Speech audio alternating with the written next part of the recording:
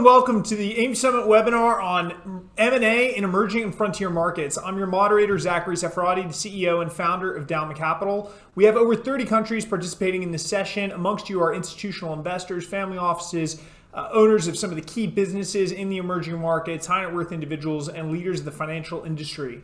Please feel free to submit your questions in the Q&A dialogue. You'll see at the bottom of your screen. Uh, please just submit them as they come anytime. We'll be picking uh, from those questions and addressing them throughout the session. If you're joining us on YouTube, please like this video and subscribe to our YouTube channel now. Go to aimsummit.com so you can be part of the live sessions and the Q&A. Introducing our webinar partner, Charles Russell Speechlys. Charles Russell Spe- Speechlys is an international law firm headquartered in the UK with offices in the Middle East, Asia, and Europe. Their Middle East based uh, team advises on matters and transactions across all lines of business services, investments, corporate transactions, real estate development, litigation, and dispute resolution. Introducing our speakers today, we have Bill Reichert. Bill leads Charles Russell Speechlys Middle East corporate practice and has more than 20 years experience on matters ranging from seed series investments to startups to complex multi-billion dollar acquisitions across numerous jurisdictions. We also have with us Jad Ellawn. Uh, Jad Ellawn is a managing director responsible for Brookfield Asset Management's activities in the Middle East including overseeing the Dubai office, and was also intricately involved in several of the major transactions, the landmarks that Brookfield Partnerships have done this year, including Meraas and the Abu Dhabi National Oil Company. Uh, Brookfield, as you may know, is an alternative asset manager uh, globally with over $600 billion of assets uh, under management and uh, over a 100 year heritage.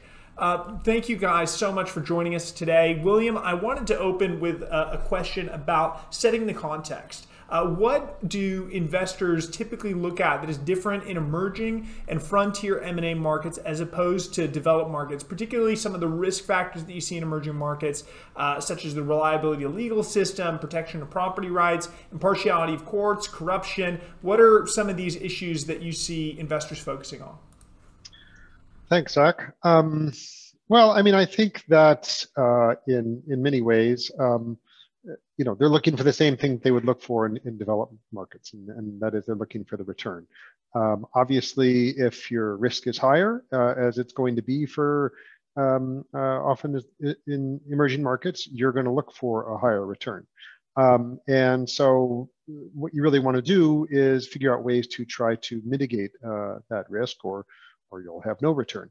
Um, and um, yeah, I mean, you already touched upon the fact that that there are a lot of risks related to legal issues. Um, for example, an unreliable legal system, uh, a failure to uphold the rule of law, poor, poor protection for property rights, uh, including intellectual property rights. Um, there can be political risks, regime stability, um, and of course, probably the three biggest risks uh, corruption, corruption, and corruption.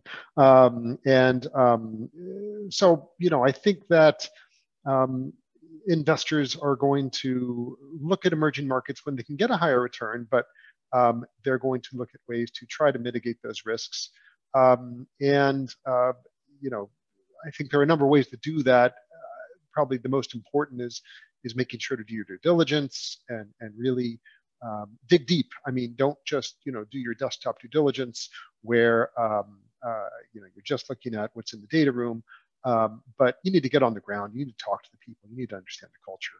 Um, uh, and I don't just mean the the, the culture of, of the of the country, but the country, the culture of, of, of, the company, the culture of the people, uh, what they're like.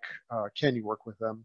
Um, you know, other issues are, are structuring um, you know, make sure, and, and, not just in terms of legal structuring, that's very, very important, of course, um, but making sure you have a good partner. That's part of the structure too, someone you can rely on, because in any jurisdiction, any foreign jurisdiction, uh, whether a developed market or an emerging market, um, if you don't have someone you're working with on the ground that you can rely on, you're going to be very lost. Um, and I think also the important thing is uh, integration. And that's, again, that's not anything special uh, for an emerging market. Um, that's in, in any acquisition. It's it's trying, and that can even be in the same jurisdiction. Uh, it's trying to make those corporate cultures uh, merge, and and most acquisitions fail because of a fail to properly uh, integrate.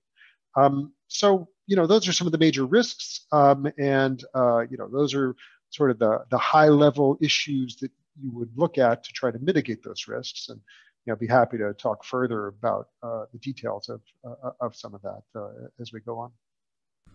Absolutely, and looking to looking forward to diving deeper into these issues. Uh, Jad, I, before actually we move on to those those points, I, I, wanted to actually understand a little bit more about Brookfield's story and what led you guys to to enter to the, in the MENA region. I mean, it's you know every few months, we're seeing another headline about Brookfield doing major deals in the region.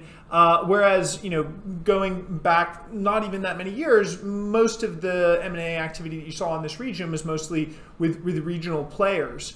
Um, so does would your entry in the region, is that something that's idiosyncratic or is this a, are there factors that are bringing other large players in the region? Is this a, an example of a larger trend that's happening? Because again, we've seen uh, you know firms like KKR, BlackRock, Blackstone, uh, more multinationals bidding for assets in this region. Well, thank you, um, Zach, and thank you for having me. Um, look, we've actually, Brookfield's been present in the Middle East um, since 1997, primarily through our contracting business, Multiplex um, which has been instrumental in um, in a lot of the um, construction and and and growth um, that we saw in the UAE um, since then. and so through them, we got to learn quite a bit about um, the UAE market in particular, and get a, an extreme amount of comfort uh, in operating here, which eventually led to the establishment of an investment business over time. And so since then um, you know, over the past uh, three to five years, we've we've established a a, a, a high-powered investment practice here in the region, uh, based out of Dubai, um, and we currently have about three billion dollars um, under management. And just overall, um, we've always felt that, uh, and I'll speak to the UAE in, in particular, the region is um, we've always felt that it's uh, been a very uh, stable and attractive market uh, where we can uh, find uh, opportunities for outsized returns. Um, and so as a result of that, um, our presence here um, is uh, is to continue to explore such opportunities. Uh, and I'm sure like-minded investors, such as the ones you, you mentioned, are, are also um, keen to explore those. So Bill, you, you touched upon uh, as one of the key words when you're looking at emerging markets and doing deals, and again, something that's increasingly on the agenda of investors, uh, even globally, and that is governance. Um, you, you, this is an issue that's often highlighted as, as a central theme, uh, particularly in uh, one of the key challenges in emerging and frontier markets, where governance may be an issue. Uh, how do you ensure that you're dealing doing a deal with the right governance? And in what ways has COVID nineteen actually changed the overall due diligence process, particularly in the assessment of good governance? Yeah, well, um, you know, in, in, terms of trying to ensure you have good governance, back to what I said earlier, it, it is a question of, of doing the diligence. And, and again, you can't just do it in a superficial way. You can't just you can't just look at a policy and say, oh, great, they've got you know such and such policy uh, uh, um, uh, in place, so it must all be it must all be fine because because policies are, are worthless if they're not backed up by action. Um, uh, I'll give you an example. I mean, I've, I've worked in, in emerging markets for, for over 15 years now, um, uh, both here and, and in uh, Russia and, and, um, and, in Eastern Europe. Um, and um, you know, you see all sorts of crazy things. Um, and and as an example, I've seen um, uh, countries, you know, worked on deals in countries where there's a high risk of corruption.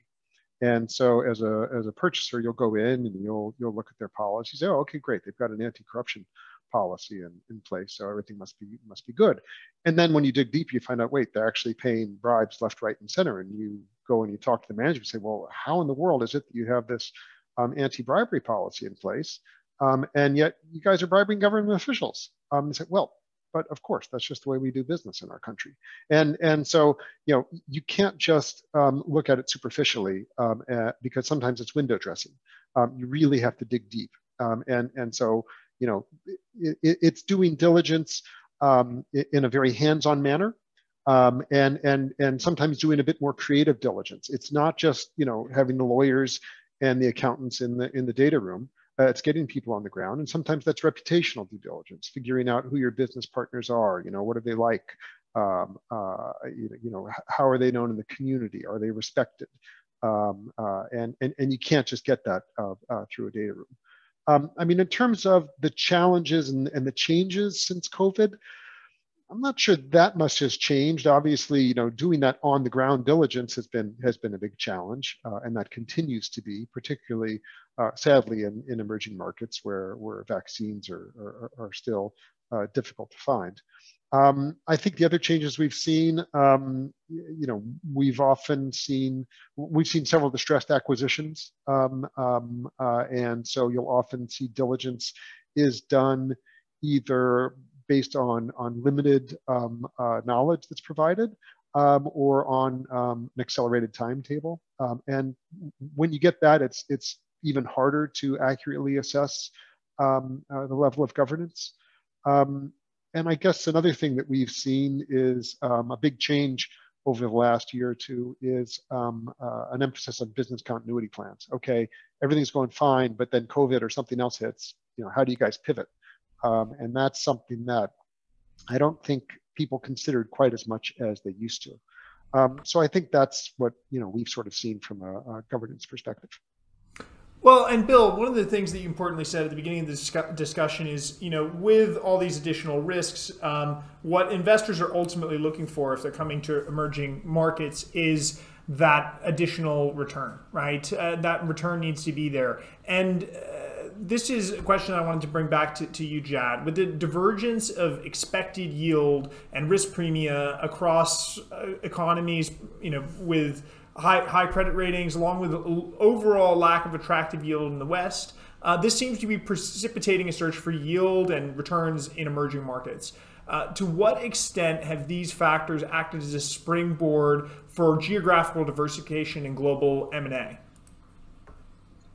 Well, I think quite a bit. Um, I think what we've um, what we've noticed um, historically is um, investors in would look at a certain credit rating in one part of the world and, and the same credit rating in another part of the world very differently. Um, and I think uh, what happened as a result of that is you'd see a divergence in yields and spreads um, and expected returns. And, and that's driven a lot of investment towards um, those markets in which you would have um, similar credit ratings, um, but a higher return. Um, now, what's what we've seen, or what we continue to see over the past year, really is um, more of a convergence of those yields and and, and spreads, not to the same, not to the equivalent level, um, but a, a tightening of that um, difference uh, between the two, which just means that the market is becoming more efficient um, and more informed as it relates to that. Well, and that also means that people who have acquired assets in those markets are seeing those assets being priced upwards. Um, so, you know, I guess in that regard, being in emerging markets has been a, an effective strategy, particularly if you have uh, uh, pr- principally dollar-based businesses uh, and don't have that FX risk. Um, how how much is uh, is is now talking about that? I mean, we talked about yields, but let's let's talk a bit about FX. Is is the preference still very much for dollar-based deals, or is the recent softening of the dollar made uh, made there an uh, additional potential appetite for taking that local currency risk? Well, I think in, in terms of, um, as you know, we, we invest from multiple strategies, um, uh, predominantly dollar based, but there are there are some other currencies that that um, that we have had funds um, evaluate um, or or invest in. Um, the, um, the, the reality is, you know, at least from in, in, the geography that I sit in, FX risk is is not our is, is not the biggest risk. basically, if you look at the GCC, a lot of the currencies are pegged to the dollar uh, which takes out a lot of that uh, risk which you allude to. Um, I think in, in, in certain geographies, um, of course, you will you will have to take uh, an FX risk, but there are ways to mitigate that as well through financial structuring. Um, if you have uh, a, uh, a, a very good idea of the time period in which you're going to be invested in. You know, the large majority of deals that we see are either um, dollar or or GCC currency based, and so effectively dollar based. Um, you know, people have been talking about the down the downfall of the dollar for an awfully long time now, and uh, I, I, still don't see it happening uh, imminently. Well, uh, so we talked about structuring around those risks, and, and going back to some of the the legal uh, aspects. Um, uh, Bill, do you mind sharing some uh, information about how people deal with legal framework gaps in emerging markets, and particularly when dealing with enforcement of rights? Are there any structural alternatives to deal with these issues and, and risks? Uh, are these risks that investors have to typically bear? Well, I mean, you can never eliminate all the risks, of course, um, but um, there are certain risks um, that are elevated um, in emerging markets. Uh, again, every market is different, so you can't make blanket statements, but but overall, um, I, think you will see one of a number of, of factors um, in various emerging markets, you know, whether that's sort of you know, the reliability and, and impartiality of, of courts and government officials or or the sophistication of, of, uh, of, uh, of, the actors you're dealing with and issues of transparency. Um, and so there's, there's really no one option to, to structure around those. There, there are lots of options um, um, and you have to find the one that, that, that fits the deal, um, that fits um, the market, um, uh, and, and that fits the parties in terms of their comfort. So I mean, you know, just a few ideas. I mean, obviously, the, the, the easiest thing to do would, would, be to just move the business to to a diff different jurisdiction if it's if it's a business that is adept to that. You know, a service type uh, uh, uh um, or or you know, example, software business or something like that. That that's an option. That's usually not a viable option for for most businesses. Um, and so, um, you know, the things you look at, at least from a legal perspective. Uh, first and foremost, you know, make sure that you have strong contractual protections. Um, um, and in fact, you know, I, I see in, in the Q&A uh, that, that someone asked a, a very relevant question in, in, that regard. So I hope you don't mind me jumping to this, but it's relevant for this point. Um, you know, uh, this person asked, um, you know, what percentage of deal value is not paid until all the reps and warranties are, are addressed to ensure, you know, and, and it's a great question. And, and, and the answer is, you know, well, if, if you're the seller, um, uh, you know, none of it's held back. And if you're the buyer, well, as much as you can. And, and, and, and, and that's your best protection in a lot of ways is to is to hold back some of that money to protect against that risk. But it's usually hard to to accomplish. You have to have pretty good leverage to be able to do that. Um, so you know that's a kind of contractual protection that's that's very very effective. Um, um, but you know that's only one option to look at. I mean i think another very common thing you, you know you have to look at um, you know well not even a common thing. This is an essential thing i should say you need to think about you know how successfully you can enforce your rights um, in the jurisdiction you're operating in. Um, and if that's a problem um, you need to think about well where else can we enforce those rights? And so uh, that goes back to the structuring question of of you know i've seen a lot of deals that are structured um, uh, in, in, other jurisdictions. You'll you'll have the the, the, the, the, actual purchase, you know, you'll set up an SPV uh, in an offshore jurisdiction. Um, uh, and that sort of um, helps to provide some protection uh, to the buyer, um, uh, especially if you can enforce um, against assets uh, that are outside of the jurisdiction where you're operating. Um, and and you know that's essential too. Is making you know if if your assets and all of your potential recourse um, are only in a jurisdiction where you're not comfortable in terms of your ability to enforce, then, then that's a problem. And so you want to make sure that you've got some kind of recourse, and this could be financial guarantees, um, uh, uh, it can be personal guarantees against against assets that are located outside of the country. Um, um, you know that's very important to mitigate those risks. But but tied to that is something that's very very important, um, and, and a lot of people I think fail to take into consideration is just how tough it is to actually um, enforce a contract.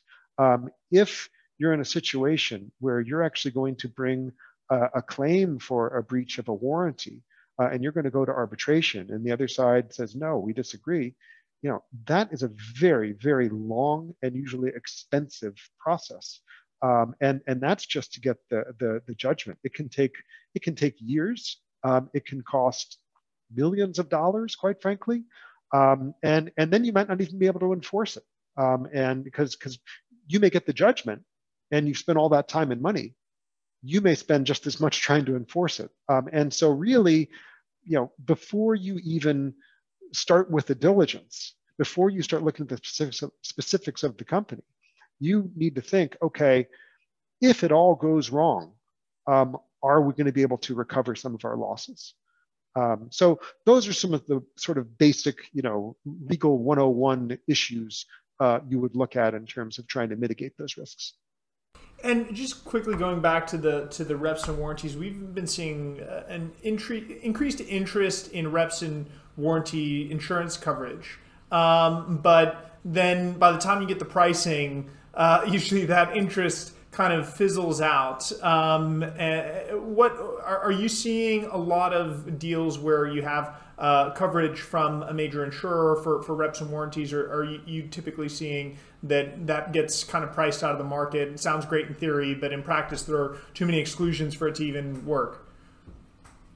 Um, it's it's not as common um, here as it is in say the U.S. and Europe, where it is fairly common. It's it's actually you know uh, it, it makes a lot of sense um, the the concept um, because th- there's so much risk involved in in the warranties for for both parties.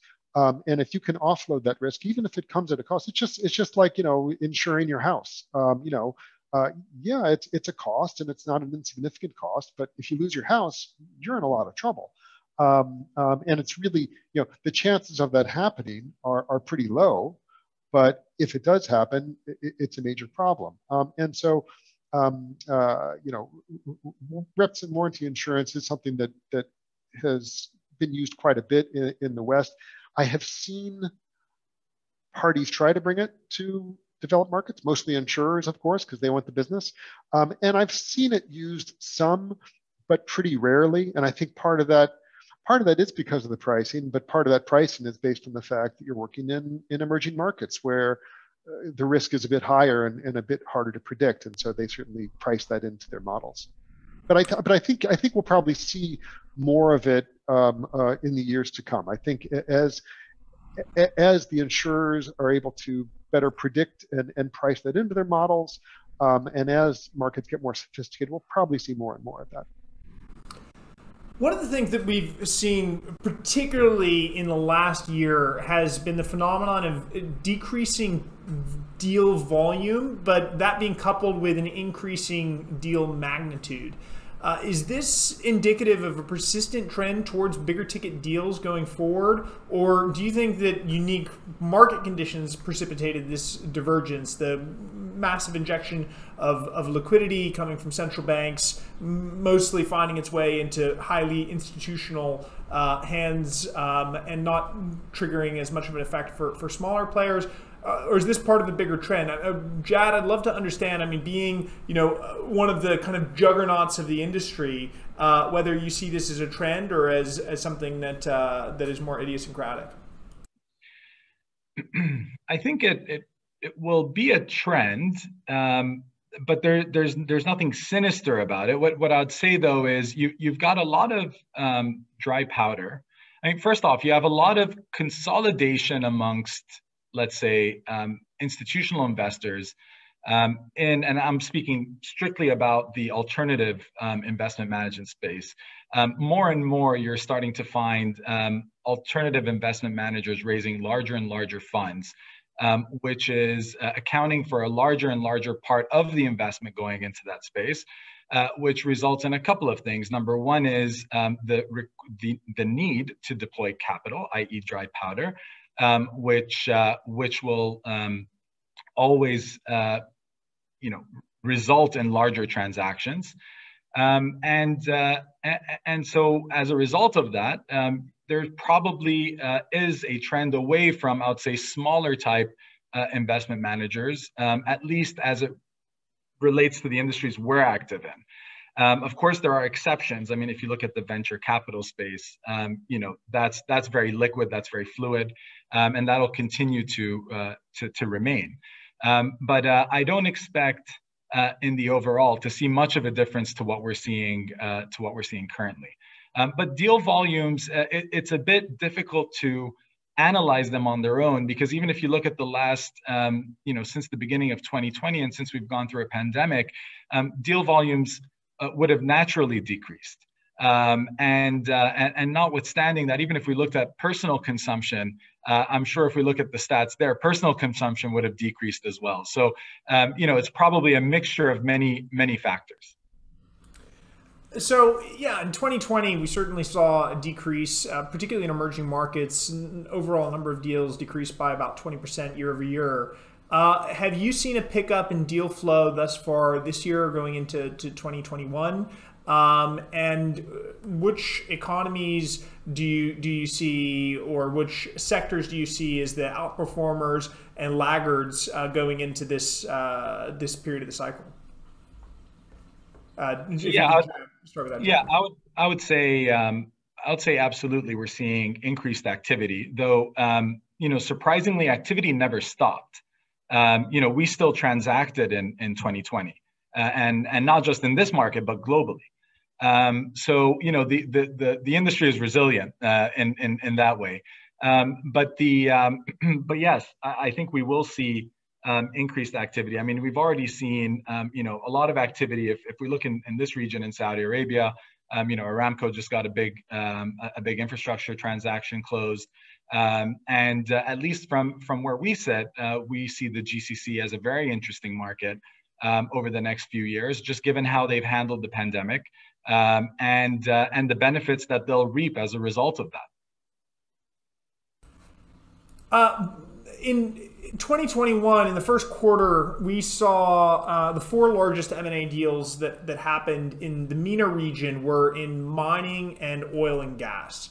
Uh, now bill i know that uh, uh you've been following the trend of the shift to, to, esg and globally there's been an intensified focus on esg factors uh, and, and how they uh, factor into not only m&a activity but valuations um, and which assets are, are, are attractive and which assets are uh, are, are, are, not uh, as as attractive for, for buyers. Has has this mindset started to take place in the Middle East, or has is the region's focus, uh, you know, its its natural kind of uh, focus on uh, oil and gas, uh, meaning that it's not going the with the trend of the rest of the world towards this ESG, particularly focusing on the E factor? Um, no, I mean it's it's definitely becoming a very very important factor, um, and, and, that's because investors demand it. Um, um, you know, their their their shareholding and institutional investors, their shareholders demand it, um, and so that, that's the mandate now. Um, and uh, if you're looking to to raise capital, um, you have to respond to to what the people with the money are are, are telling you to do.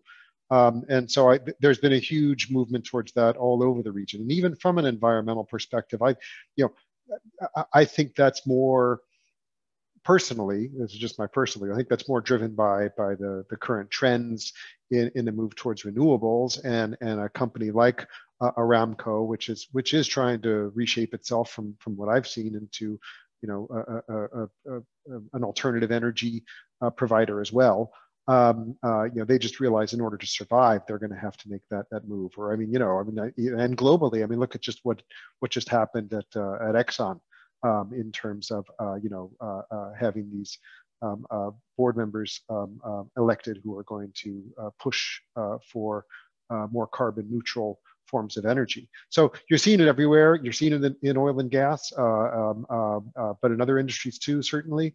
Um, uh, and you're certainly seeing it in this part of the region. Um, and I think the UAE, as it often does in the region, um, is taking the lead. Um, uh, you know, we now have uh, uh, mandates for, for women on, on boards in public companies. Um, uh, we have uh, corporate governance guidelines for, for listed companies. Um, and, you know, you have all sorts of sustainability initiatives by, by government agencies. Um, uh, here in Dubai, uh, the, the, the, Dubai financial market um, introduced um, an ESG reporting guide and an ESG index, uh, which which tracks uh, how the, the listed companies are, are responding in terms of, of ESG. So yeah, I mean it's it's it's really everywhere. And I mean I know that um, you know most of our clients and not all of our clients are very very focused on on ESG. Um, and, and they're trying to implement policies and, and, practices to, to support that. Um, and so, yeah, when we're doing deals, I mean, ESG is now a part of, of what we look into, and we're doing due diligence um, on, on, a company to, to see whether they're keeping up with with not only just the latest regulations, but but also the, the just the trends, um, um, and and whether that um, uh, you know whether they're actually putting their money where their mouth is, and not just having having a policy, but but implementing it. Because because I mean it's it's it's actually in some ways worse to um, uh, to have a policy and not implement it than just not have it at all because it just it, it, makes you look hypocritical and that can cause reputational risks um, so you know going back to what i said earlier it, it's not just about you know uh, having the lawyers you know put together a nice piece of paper for you um, it, it's then you know making sure that gets implemented throughout the organization um, and, and actually becomes a, a living document so uh, Jad, actually, we were just talking before this call about uh, Mark Carney, who's joined Brookfield uh, fairly recently as your vice chair and the head of ESG and impact fund investing. Uh, so clearly, this has been a, a big focus for uh, Brookfield. I understand that you have uh, several funds that are that are focusing on these assets. How has this ESG dynamic not only affected your asset allocation, your proactive allocation, but actually, is it also driving some divestitures? So we uh, we do take it very seriously. We now have a vertical that is completely focused on on ESG. Um, we've been investing in renewables for a very long time. Um, and, and, so, um, you know, that is a natural progression for us. We are one of the world's largest ESG investors. And, and you did mention that, uh, you know, we've been fortunate to have the uh, former Bank of England Governor Mark Carney join us, and he is leading um, our ESG practice, in which we are starting um, a fund to invest from. Um, so that is a that is a global um, a global strategy for us that uh, I think will become more pertinent um, and, and more popular over time. Um, and what's interesting about it, quite frankly, is the way we're looking at it is not just what is ESG today, but it is what can we invest in today that can become ESG or ESG friendly. Um, so a lot of the investments we're evaluating today, if they don't quite fit the ESG framework, we always keep a hat on that evaluates whether they we can make them um, uh, you know, more eco-friendly uh, or sustainable. And, um, and so it is a driver. It's something that's on our mind uh, consistently. You mentioned that this is something that's that's on your mind consistently, and, and I'd love to understand. Yeah, it's it's certainly on the the proactive front. I mean, do you have also? I mean, uh, do you have some legacy assets that are maybe not ESG friendly that you've been getting rid of as well? Has that been you know driving the, the sell side, or is it just really on the buy side that that that ESG is having a having a, a clear focus? Well, I would say we've always had it in mind. Um, so it's it's not as much about what is in the portfolio today as much as how are we structuring the portfolio going forward. So I'd say it's it's certainly um, a lot on our mind about how we construct our portfolio management going forward, or how we how we allocate um, investments going forward, rather than uh, what have we done historically. Um, there's a, question from the audience uh, regarding the inflationary pressure that's building up through uh, rising commodity prices and whether this is also having a, an impact on, on M&A, on sectors that are of focus. Is this making commodity related deals more interesting? Uh, how is this impacting uh, uh, the view on, on emerging markets um, and uh, potentially sector-related deals. If, if, Bill, you were nodding, if you wouldn't mind, uh, you know, giving your views on that. Yeah, and I mean, I, I was nodding mostly because I think it's a great question. Um, I, I, certainly don't really have a view on that um, because I haven't seen an effect yet. I mean, I think I think those inflationary pressures are still, um, you know, somewhat new. It's really been over the, only the last few months, and uh, I haven't seen that trickle into deal flow, and I expect it'll it'll take a little bit of time. Um, uh, hopefully, you know, it, it, will come under control. Hopefully, it was, you know, um, a, a, question of of just everything being sort of backed up because of COVID, and now that markets are opening up again, uh, uh, uh things will will settle a bit. Um, but um, uh, you know, it's it, it, certainly could be extremely disruptive um, to, to, to valuations and and and you know um, uh, it's interesting. We we look at we look at events like COVID and see the the havoc that it it, it wreaks. Um, but simple things like you know inflation can can wreak tremendous havoc as well. Um, and um, so it's a great question, but but I, I don't think anyone really has the answer for that quite yet.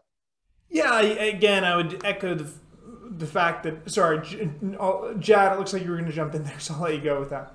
I was. Um, I was. I was just going to add that um, you know, it really depends on the strategy of, of each investor. Um, people will look at it differently. Some people are comfortable taking commodity uh, risk or, or commodity inflation risk. Some people aren't. Um, you know, and, and and the transactions that we've done, we've we've tended to uh, to shy away from um, commodity price risk. Um, but you know, everyone has a flavor. Every every investor has a strategy. Um, and and so some people may be may be playing on on on those inflationary uh, let's say expectations. Um, and so you know i think it's it's it's it's a good pertinent question but it's very broad and every investor might have a different answer to that. Yeah absolutely. And i think again in these the, the reflection of, of inflation in markets is, is a relatively new phenomenon but i i can uh, speak to the fact that the, I mean, the typical way that you would cha- play this through through an M and A strategy is to, to buy commodity producers. But with the backdrop of ESG, um, that has become a much less attractive space. Now, one thing that we're seeing, and, and we're, we're seeing a lot of, of deals and funds that are raising uh, capital to do deals, and an important uh, space of, of, focus is actually more ESG friendly uh, commodity producers and, and, and mining deals because at the end of the day, you know, people think of those as as a contradiction of terms. How can you be ESG friendly and be a, a company that's extracting uh, extracting commodities? Well, let everybody remember this energy transition relies on metals, it relies on rare earths, and it relies on a lot of things that we're not producing enough of. So if you look at the commodities that have really been on fire, those are the ones that are going into batteries. Those are the ones that are going into electric cars. Um, you know, we we've seen uh, you know shortages of, these commodities, and there's even talk about a, a decoupling in the pricing of some of these commodities. Uh, again, you think of, of you know copper as as you know something that's it's perfect um, that has a high degree of fungibility um, from from one market to another, but actually in, uh, buyers are really starting to differentiate between the kind of provenance of those those assets and where they're coming from. So I think that this is going to have an impact on emerging markets. I think this is going to have an impact on uh, you know the, the types of deals that we see that we're going to see an increasing interest in you know clean commodities and a decreasing interest in kind of these these dirty commodities, um, taking as a way of taking advantage of this inflationary cycle. But it is it is too early to see that. We've seen, uh, but we have seen you know uh, a few funds that are focusing on that space that have done phenomenally well um, and seem to be taking advantage of a bigger trend. One of the other trends that we have seen, um, particularly over the last year, and, and Jad, I'd love to to hear your your your view on this are are the the uh, uh, the, the boom in the SPAC market. So SPACs are obviously fulfilling a unique role in M and A and capital markets and kind of sitting in between. Um, despite this being predominantly a U.S. phenomenon, do you see SPACs as uh, potential increasingly potential bidders in, in emerging markets? Do you see them? Do you think that this is part of you know are they are they here to stay? Are you going to you know continue to see these guys uh, bidding for deals? Um, and you know, do you have any context or examples of, of SPAC, SPACs happening in emerging markets? I know, Jad, that you had a, you actually had a quite interesting anecdote on this. So yeah, I mean, look, I, I would say that um, SPACs uh, do you know they do provide a, an an ability for um, for you know the average investor to invest and take part in some very interesting um, acquisition um, or investment strategies. Um, I think whether they're they're here to stay or not um, is probably more um, more dependent on on each SPAC and how it how it performs. I mean, it's no different than uh, an investor evaluating a fund um, in which they're putting um, you know their money into and and and and relying on that manager to to invest it uh, appropriately. So you know is there a difference between what we'll see in the emerging markets and the us you know i think we'll continue to see it be a predominant us phenomenon um, but i would expect that people um, globally will um, you know will continue to uh, to evaluate these as uh, as not just um, investment vehicles but potentially exit vehicles um, and um, and look, I think you know we've we've seen um, you know SPACs uh, pop up in, in different shapes and forms uh, forms throughout, um, and uh, and I'm sure the Middle East will be uh, will be no uh, no exception to that. Um, and so um, you know how and what shape those take TBD, but we'll uh, you know it's something that that we look at very closely. is do you see any key differences between SPACs? Uh, in, in the United States and SPACs that are dealing in emerging markets? Um, are, are, there any key differences in you know the, the risks, the the sponsor profile, the deal sizes? Yeah, look, I, I think one um, one key difference will will be that you know people investing, the investors. I mean, you know, we need to differentiate between who's the investor here because SPACs are also investors. But you know, the investors in SPACs um, will probably want to feel very comfortable with the you know the team um, of the SPAC and the markets in which they're investing in. Um, and in developed markets, um, that's probably easier. Um, in growth markets, you might not find that deep of a bench um, of people to back. Um, and, and so that's probably going to be the biggest differentiator between, uh, I would say, between the two separate, let's say, uh, strategies. Um, but the uh, but overall, I'd say also, um, you know, for people investing in growth markets, um, you know, they need to ensure that the SPACs um, that they are investing in um, are, uh, are are able to assess the the risks. I think that Bill uh, very eloquently, uh, you know, relayed. Um, but also um, are in compliance with some of the standards that these investors would get in, in in U.S. SPACs. So, Bill, actually earlier in our discussion we were talking about uh, we were talking about control we were talking about enforcement of rights and actually one of the kind of presumptions on this entire discussion was that we were talking about uh, you know control majority uh, uh transactions but um, a lot of EM emerging, and this is a question from from Naush, Malik in the audience. Uh, EM private investment was historically looking at growth capital, minority stakes, has there been a general shift towards uh, majority and control transactions? Um, is this a result of these markets becoming more mature uh, or possibly of previous strategies not kind of fulfilling the dreams uh, or expectations that they might have for minority stake uh, deals? Um, it's a tough question for me to answer on a, on a macro level, just because I'm I'm not an analyst and I can only sort of speak from from my anecdotal experience. Um, you know, I, I think in large part that's that's going to be something that's that's dealt with investor by investor. I, I think from a you know, I, I do I do a, a, fairly decent amount of, of private equity work, uh, uh not exclusively, but but you know, um, work with whether it's uh, portfolio companies that, that are seeking investment or, or for funds themselves. Um, you know, so, some funds will only invest on a minority basis, others only on a majority basis. I personally have probably seen a bit more of a trend um, towards um, uh, funds that will will take a minor a majority interest. Um, but again, that that could just be anecdotally what I'm seeing.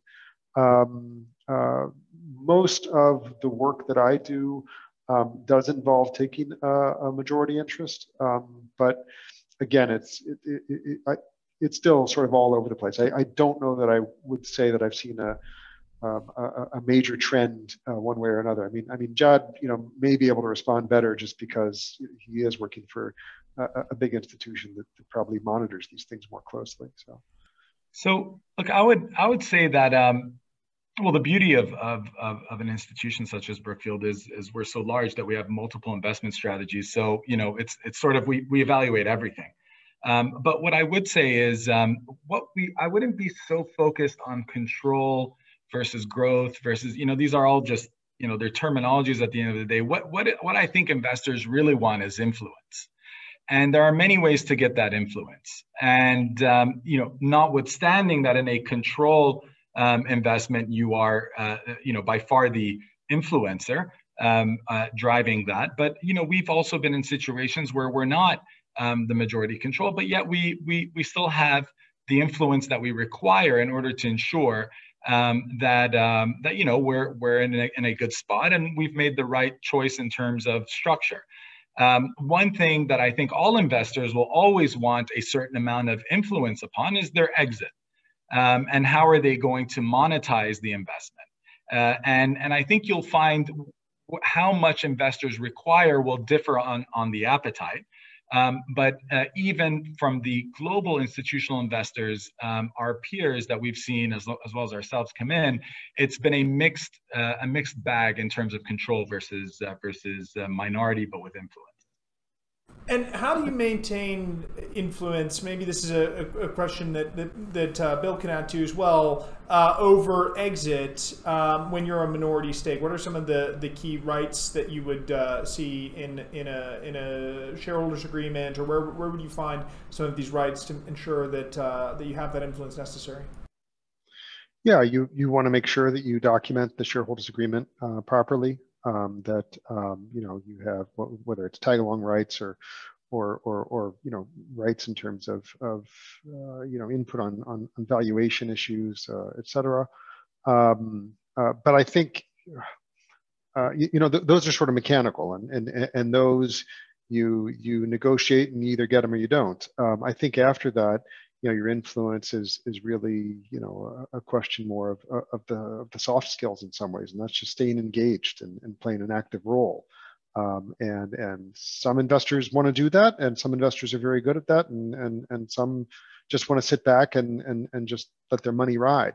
Um, and um, you know and and some you know companies who are seeking investment you know they feel the same way sometimes they want a, an active investor especially if they're contributing um, um, and, and, helping them. I mean, you know, most most private equity investments, um, uh, and even more so with venture capital, you're contributing not just money, you're hopefully contributing uh, expertise, um, um, and and and you're you know you're you're contributing something that will will make the company more valuable, not not just through the financial investment, and and that's great for for a good investor. Um, it's it can be absolute hell for a company if if the the investor is um, you know not really uh, productive or or or or you know is is, is too in, involved and too active um, um, or, or, or or takes the company in a direction um, that that perhaps the, the founders don't want and, and and so there's that balance of control again and, and obviously the,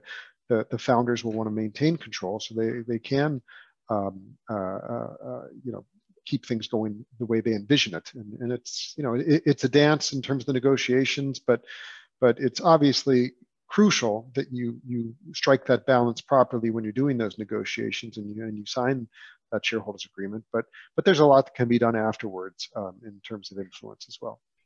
Zach, I, will maybe just jump in there, and I, I think what what Bill alluded to in terms of soft uh, power, soft influence is um, is is very key um, uh, if you are not in a uh, majority position. Um, and and what we've, uh, at least what I've seen, is um, transparency and honesty from the get-go is the best policy in, uh, in terms of being open and honest with any potential partners that you might have about your intentions, um, about your um, you know your view of uh, the investment period, um, you know how you believe you might be able to add value, um, because these are all considerations.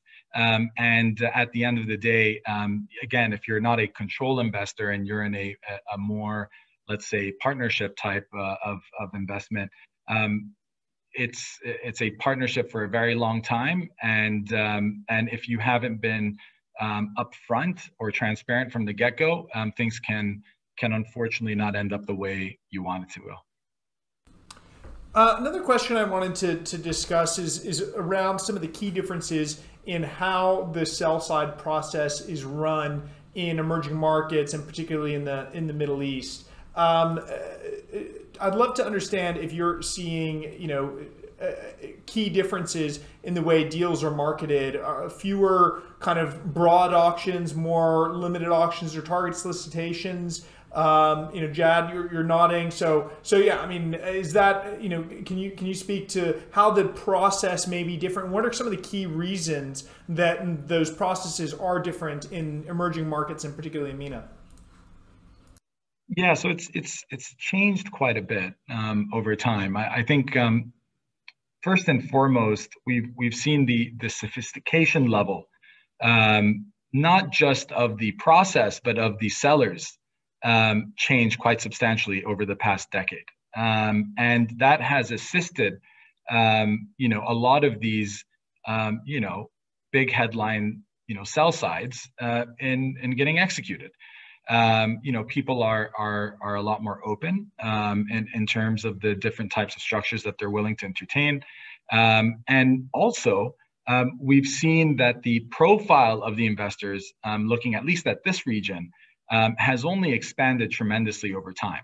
Um, and whereas, you know, maybe a decade ago, you were looking at a more regional investment type profile, uh, regional type investor profile.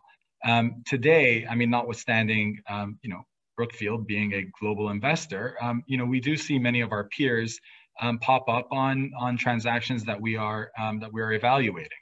I continue to believe that having a presence here on the ground, you know, of an investment team or an investments team helps us and gives us a, a, a you know an edge because at the end of the day um, you know it's all about building relationships um, so um, so you know we I do expect that um, we'll start to see more and more of those global um, investors starting to to enter the market and we've seen it quite substantially over the past three years alone. And and do you see them so with with a more global investor, with a more sophisticated investor, with a more sophisticated seller? Would you say that you know, auctions are, are auction processes are becoming more common, whereas historically it was just bilateral, um, you know, or just very limited target solicitations. Uh, but are, are, those auctions still staying relatively limited, or are they very broad, open auctions like you'd see in the U.S.? It depends on the deal size, and it depends on um, when we're talking about. I, I, think what we've seen is in the in the very big ticket space, um, which is a space that we're frequently involved in. Um, it has been not bilateral per se. It depends. We have done bilateral deals, but we've also participated in limited auctions. Um, the the reason being that the ticket size itself determines who might want or who may be in the process. Um, and so going out to a wide range of people doesn't necessarily improve um, the probability of getting a deal done um, when actually, in many times, it, it might actually limit um, the ability. Um, and so, um, you know, we have seen certain processes that have gone out to very limited investors, and of which we would always be one. And those have usually been the ones where we feel most comfortable transacting on. Yeah, and that's a trend that we've, we've seen as well. Um, you know, we're seeing auction processes becoming more common, but still very limited. You, you know, having to really do the work to qualify the to qualify the buyers, make sure that you're talking to the right buyers. Um, you know, obviously you don't want to leave stones unturned. I mean, we advise uh, companies that are that are selling um, on on on these processes. Uh, one thing that I'd, I'd, like to to, to one frust- key frustration though that uh, a lot of us see, and, and Bill, I'd, I'd, love to hear your kind of input or thoughts on this. Is is um, helping the sellers of these companies understand that if they want to do an auction process, which is the best way to maximize value, that it actually means that a heck of a lot more work needs to be done at the beginning before before you even start talking to investors, and that means a lot of cost. Uh, that means you're going to be spending a lot of money on, you know, on legal and uh, potentially on vendor DD um, and on the types of things that, that prepare you for running an auction process so that your bidders uh, know exactly what they're bidding for. Uh, whereas, a, you know, targeted solicitation, bilateral deal allows you to kind of do a lot of that as you go. So, Bill, is that something that you've also also seen? Is is that you know that increase uh, in auction processes also comes at a cost and some kind of resistance of companies to kind of foot that cost? Um, I mean, I think that's I think that's a good point um, in the sense that indeed um, an auction is going to take a lot of work up front. Uh, now, hopefully, Um, that pays off by having uh, a lot less work uh, further down the line, and and particularly from a legal perspective, um, if if if you're the seller, um, uh, and um, you know you have a, a, a, highly desirable asset, you can say, you know what, here's our SPA, and and it's fair, and you take it or leave it. We'll take a few comments here or there, um, but but you know don't come back with a, a massive red line because we're just not going to accept it. Um, and, and, that can actually save a lot of time at the end of the day. So so the overall cost you know might not be that different and and you might indeed maximize your your valuation through an auction auction process uh, but you're absolutely right it's more of an upfront um, uh, uh, cost for when you're doing an auction i mean I, I i think that you know it's not something we see a ton of, uh, not nearly as much as you would see, for example, in, in the US. And that is going back to what Jad said. I mean, it, it's really a question of valuations. Um, uh, you know, for most sellers, um, the, the, the, for a lot of the deals here, they're not massive tickets. Um, and so, you know, going to that cost question, they don't want to expend the, the, the resources um, uh, uh, upfront. Um, uh, so you, you see them some, but, but not that much um, uh, compared to uh, just sort of the bilateral deals.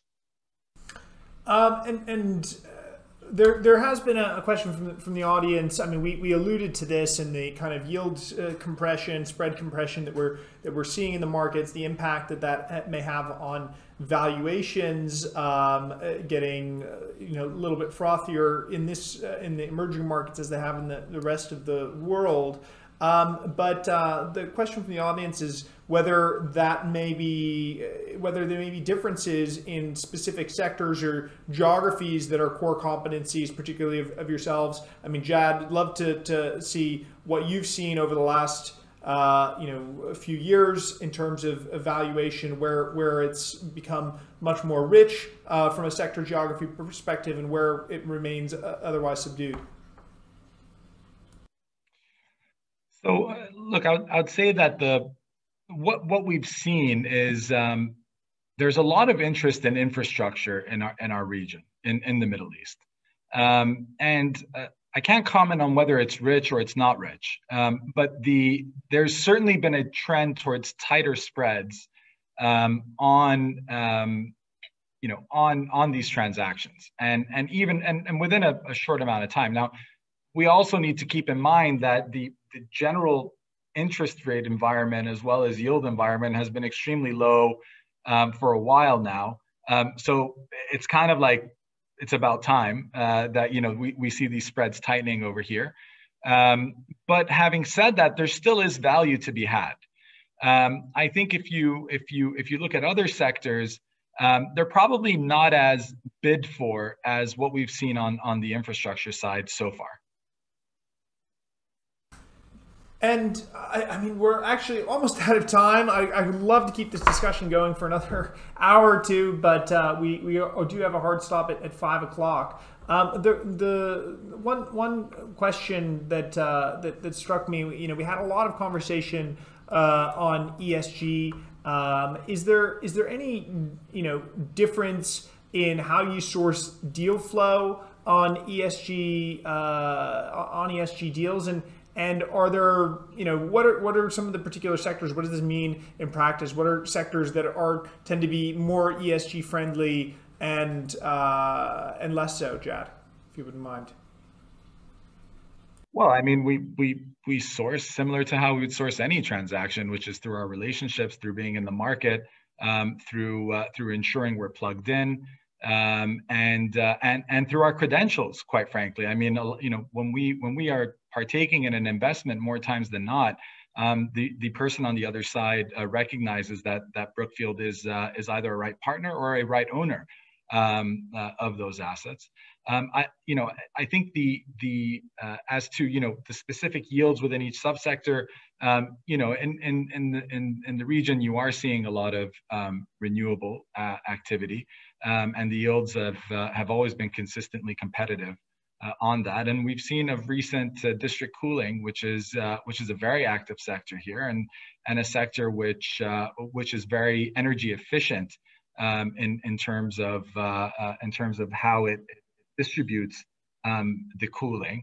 Um, has has been a uh, has been a very popular play for for many investors.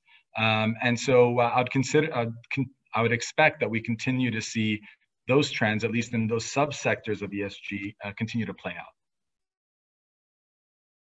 Well, thank you both so much. We are out of time. Thank you to everyone in the audience who uh, took part in this session. I'm so sorry that we weren't able to get to, to more of your questions, but we'll, we'll definitely look to be doing another M&A focused session on uh, on the AIM Summit webinar series and at our in-person conference uh, that's going to be happening in Dubai. That's going to be on the 11th and 12th of October here in the DIFC. Registration is now live. Uh, remember, if you're watching us on YouTube, uh, please like the video, subscribe to the YouTube channel channel now. Um, everyone who's on the live session, go ahead and subscribe to the YouTube channel so you at least get the uh, the uh, recordings of, of all of these sessions so you can watch them later. Uh, again, thank you so much to to uh, to the the to, to, Jad and to Bill and to Charles Russell Speechlys for making this session possible. Uh, we really appreciate it and look forward to having you again.